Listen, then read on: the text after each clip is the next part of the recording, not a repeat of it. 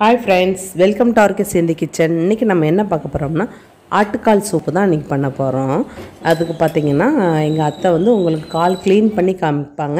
நான் சூப் வைக்க எனக்கு தெரியும் பட் ஆனால் எனக்கு அந்த கால் சுட்டு க்ளீன் பண்ணுறது எனக்கு தெரியாது. அதனால் எங்கள் அத்தை தான் இன்றைக்கி உங்களுக்காண்டி எப்படி ஆட்டுக்கால் சுட்டு க்ளீன் பண்ணணுங்கிறது உங்களுக்காண்டி சொல்லி காமிக்கிறாங்க. பார்த்திங்கன்னா நாலு கால் வாங்கினோம். வாங்கி நல்ல விறகடுப்பில் வச்சு நல்லா ஹீட் பண்ணால் அதில் உள்ள முடி ஃபுல்லாக உதிர்ந்துருது. இப்போ பாருங்கள் ஃபஸ்ட்டு ரெண்டு கால் வச்சுருக்காங்க. நல்ல தீ நல்லா கொழுந்து விட்டு எரியுது பாருங்கள் அந்த தீயிலே அந்த கால் வந்து அப்படியே அந்த முடி வந்து அப்படியே கருகி அப்படி இதாக ஆயிடுது பாருங்கள் ஒரு சைடு ஃபுல்லாகிட்டு இப்போ அடுத்த சைடு திருப்பி வைக்காங்க. அதுவும் பாருங்கள் நல்லா களி கருகிரும். அதுக்கப்புறம் நல்லா கத்தி வச்சு நம்ம சுரண்டி க்ளீன் பண்ணி மஞ்சள் உப்பு எல்லாம் க்ளீன் பண்ணி போட்டுக்கலாம். இப்போ நம்ம கால் சுட்டுறதை பார்த்துட்டு அப்புறம் சூப்புக்கு செய்யலாம்.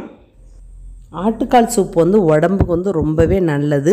அஹ் அதே மாதிரி இந்த டெலிவரி ஆகி ஒரு முப்பது நாற்பது நா ஒரு முப்பத்தஞ்சு நாள் நாற்பத்தஞ்சாவது நாள் பார்த்திங்கன்னா இந்த குழந்த பிறந்த பிள்ளைங்களுக்கு இந்த மாதிரி சூப் வச்சு கொடுத்தா முதுகு வந்து வலி இருக்காது. சிப்புள்ள பிள்ளைங்களுக்கெல்லாம் பலனே இருக்க மாட்டேங்குது முதுகு வலிக்கு இடுப்பு வலிக்கு.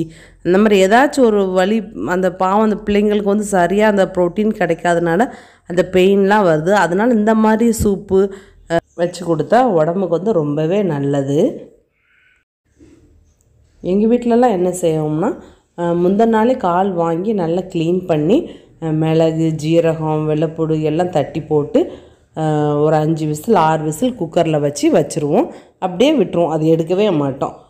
மறுநாள் காலையில் வெறும் வயிற்றுல நல்லா திருப்பி திருப்பி இன்னொரு தடவை நல்லா ஒரு ரெண்டு மூணு விசில் விட்டு அந்த ஜூஸ்லாம் அந்த எலும்பில் உள்ள ஜூஸெல்லாம் நல்லா இறங்கி நல்ல கொழுப்பு மாதிரி அதில் அப்படியே மேலே வந்து நல்ல அந்த எண்ணெயாக படர்ந்துருக்கும். அதுதான் அந்த காலில் உள்ள சூப்பு வந்து இறங்கியிருக்கும். வெறும் வயிற்றுல ஒரு பவுல் நிறைய கொடுத்துருவேன் நான் பிள்ளைங்களுக்கு. நல்லா அதை சாப்பிட்டுட்டு இந்த ஜூஸும் சாப்பிட்டுட்டு அந்த எலும்பு நல்லா கடித்து சாப்பிட்ருவாங்க அது வந்து ரொம்பவே நல்லது. அந்த மாதிரி ஒரு வாரத்தில் ரெண்டு நாளோ ஒரு நாளோ அல்லது ரெண்டு வாரத்திற்கு ஒருக்க கூட நீங்கள் அந்த மாதிரி சூப் வச்சு கொடுங்க பிள்ளைங்களுக்கு.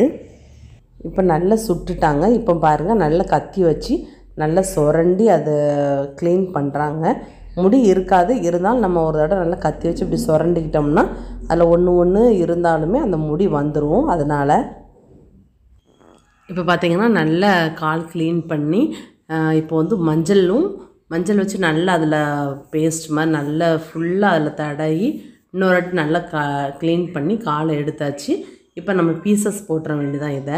இதில் பாருங்கள் இப்போ ஒரு முடி கூட இல்லவே இல்லை. நல்லாவே நானுமே செக் பண்ணிவிட்டேன் நல்ல மஞ்சள் வந்து அப்படி பூசாமல் நல்லா கொஞ்சம் பேஸ்ட் மாதிரி ரெடி பண்ணிவிட்டு அதுக்கு மேலே நல்லா பூசி இப்போ க்ளீன் பண்ணி என் கையில் கொடுத்துட்டாங்க.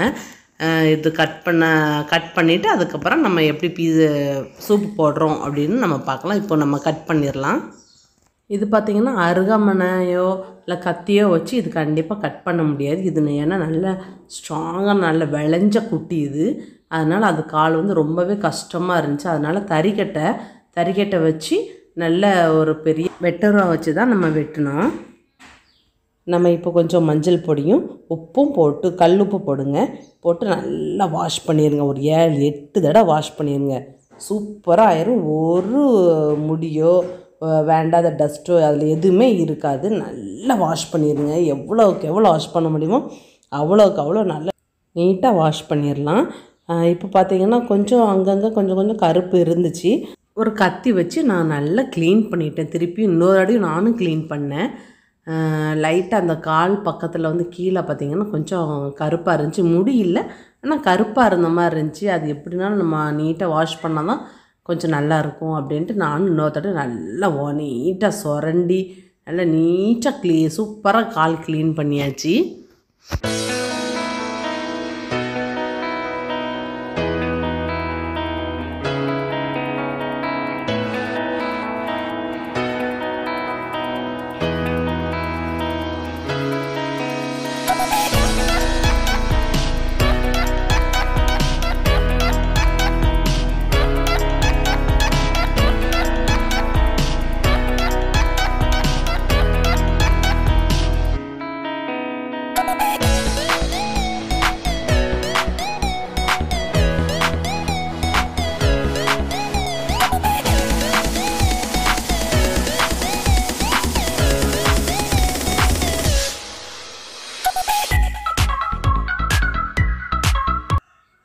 எல்லாம் ரெடி பண்ணியாச்சு. இப்போ நம்ம எடுத்து வச்சுருந்த காலெல்லாம் குக்கரில் போட்டுடலாம் இதுக்கு வந்து தேவையான மசாலா இப்போது ரெடி பண்ணிக்கலாம்.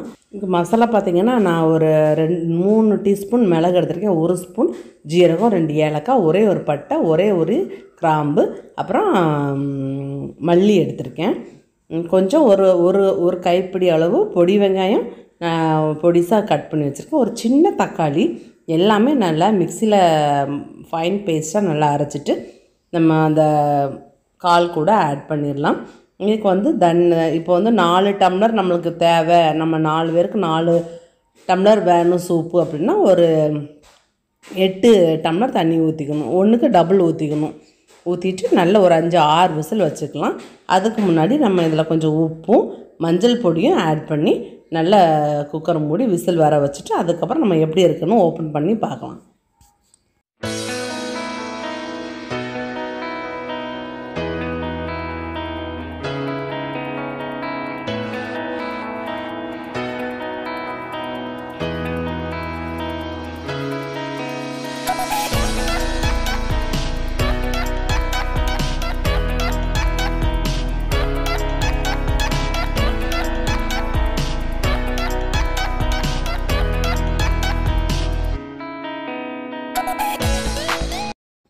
இப்போ ஒரு ஏழு எட்டு விசில் வச்சு கேஸ்லாம் நல்லா ரிலீஸ் ஆகிட்டு இப்போ நம்ம ஓப்பன் பண்ணி பார்த்துட்டு சூப் எடுத்து நம்ம சேவ் பண்ணிடலாம்.